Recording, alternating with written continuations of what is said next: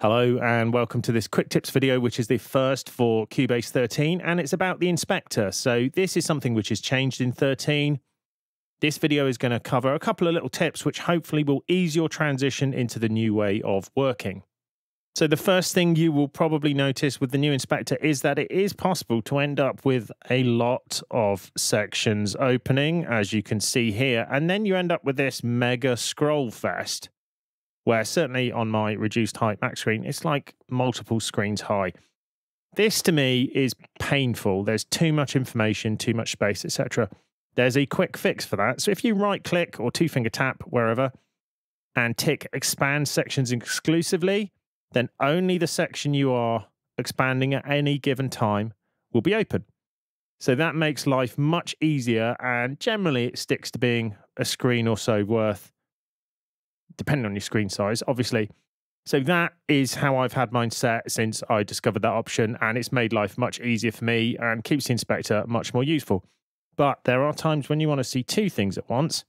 There, I would say use the channel section. So this is turned on here, so the channel zone is is turned on there, or as it says here, Command Option C or Control Alt C and then you can have this open. So you can see maybe your routing at the same time as you're seeing the channel fader etc so i i quite like this like this. I've got my sections set up in a particular way. And that's the final tip of this not that short quick tips video which is to set up the sections that you want. So you just again right click or two finger tap click set up sections and you can turn some off. Now, depending on the track that you're on, you won't be able to see some of these. So, because we're on an audio track, these are not relevant.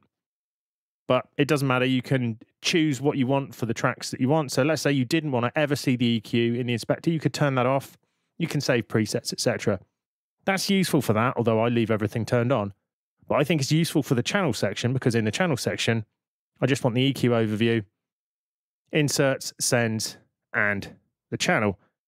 I'm going to take the routing out because I left that in there deliberately. So just turning routing off.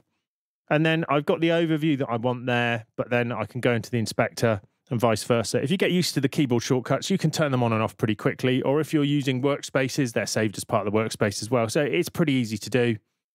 It's one of those things where I think it may or may not agree with everybody, but after a while, it's okay. So anyway, that's not such a quick quick tips video, but I thought it was relevant because I've seen quite a lot of people uh, having issues with this, and while it's obviously not like the old inspector, it makes it a little easier to handle.